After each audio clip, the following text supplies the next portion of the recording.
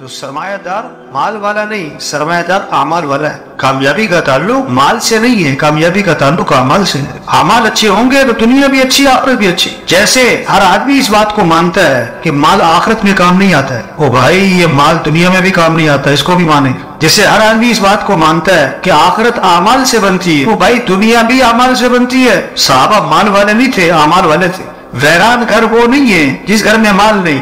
ये क्यों परेशानी है? जिसे देखो कहते हैं परेशान। परेशानियाँ माल की कमी से नहीं आती। परेशानियाँ अमाल की कमी से आती। झूठ बोलेगा, परेशानी आएगी। गाड़ी देगा, परेशानी आएगी। धोखा देगा, परेशानी आएगी। जो अल्लाह की नाफरमानी करेगा, परेशानी आएगी। खुशियाँ कब मिलेगी? अल्लाह ने साफ़ बातें फरमाए मन अमिला सालिहम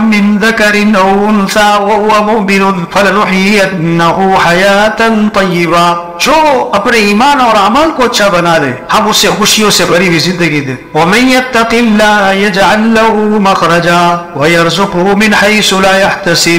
अख्तियार करे, गुनाहों से बचे, हम उसके लिए हर तंगी से रास्ता निकालेंगे। हम वहाँ से रिजक देंगे जहाँ से वहाँ को गुमान नहीं। अगर ये तकवे बनाए गुनाहों से बचे तो अल्लाह फरमाते हैं ज़मीन से, आसमान से बरकतों के दरवाजे खोलते कान खोल के सुनो, दिलों का इत्मीनान अल्लाह की याद में, बाद में नहीं, चीज़ों में नहीं वातों में नहीं। वाला ज़िक्र अकबर, अल्लाह का ज़िक्र ये बहुत बड़ी बात है। जब अमाल अच्छे होंगे तो ज़िंदगी अच्छी होगी।